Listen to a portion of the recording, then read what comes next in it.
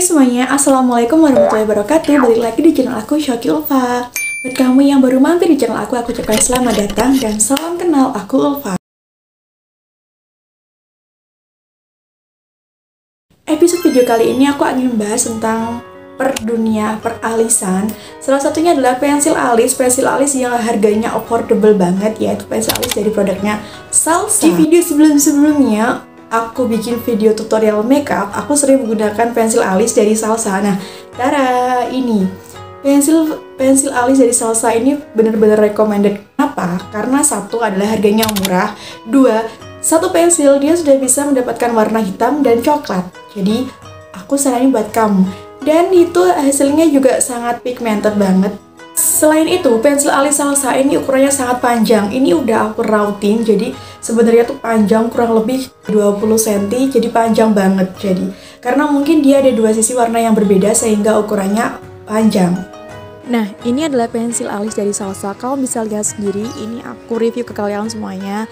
Satu sisi hitam dan satu sisi coklat. Terus ini aku coba, aku usapkan ke telapak tang, uh, maaf, ke punggung tangan aku. Dan ini hasilnya uh, dibilang awet juga biasa aja sih. Intinya sesuai lah dengan harganya, tuh kan? Ini udah keluar warnanya dan bikin alis kamu bagus banget. So, kamu harus lihat aku hasil ketika aku udah pakai pensil alis di alis aku. Di video ini aku belum menggunakan pensil alis, jadi aku pengen gunakan pensil alis menggunakan produk dari Salsa ini sehingga kalian semuanya bisa tahu. Selain itu, untuk bentuknya ini dia sudah dapat spoolie, jadi ini enak banget. Terus kemudian ada rautannya, jadi simpel banget buat kamu yang mau keluar kota ataupun ke mana aja kamu bepergian. Dia bisa dibawa ke mana-mana, cuman karena ukurannya yang panjang sehingga dimasukkan ke tas itu bakalan gak muat, apalagi kalau dimasukkan ke pouch makeup. Peralatan yang pertama aku butuhkan adalah kaca sama pensil alis. Ini pertama kali aku sisir menggunakan spulinya. Kemudian aku bingkai alis aku menggunakan pensil alis dari salsa ini. Nah, kebetulan aku ambil warna coklat. Jadi nanti kamu bisa lihat perbandingan antara warna coklat dan warna hitam sisi yang berbeda perlu kalian ketahui bahwa bikin alis itu gampang banget tergantung kalian harus ngikutin bentuk alis kalian. Jadi kalau misalnya kamu pengen bikin alis yang natural usahakan jangan terlalu tebal. Kita ambil bagian yang belakang aja dan pelan-pelan aja oke? Okay? yang paling penting adalah kamu ketika kamu um, membaurkannya menggunakan spoolie nah itu yang biasanya bikin alis kita terlihat natural. Kemudian kamu bisa menutupin di bagian yang kekurangan antara sisi-sisinya pinggir-pinggirannya itu menggunakan concealer. Jadi alis kamu nanti nanti bakalan kelihatan rapi.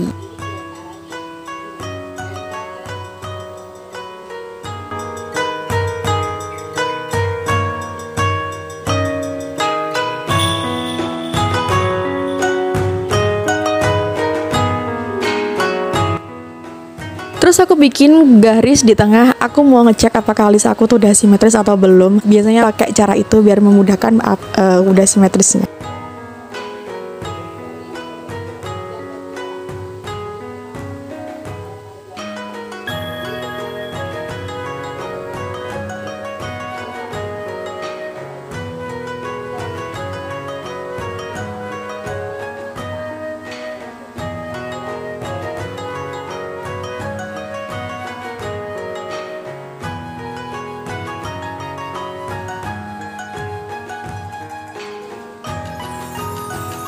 Nah udah selesai bikin alis Waktunya kita ngarsir tipis-tipis menggunakan spoolie Secara perlahan-lahan aja supaya gradasi antara depan Itu biar pas dan belakang itu Biar hasilnya itu lebih naturalisasi Oke okay? Nah ini kalau misalnya kamu ngarsir Itu kamu harus yang hmm, sabar ya Intinya tuh kamu kalau bikin alis tuh nggak boleh buru-buru Kalau hasilnya kalau kamu buru-buru hasilnya nggak bakalan oke okay.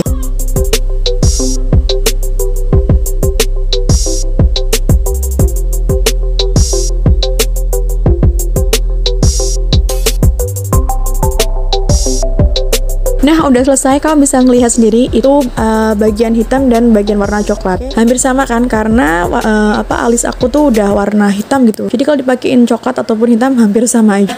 Segini aja ulasan aku tentang alis.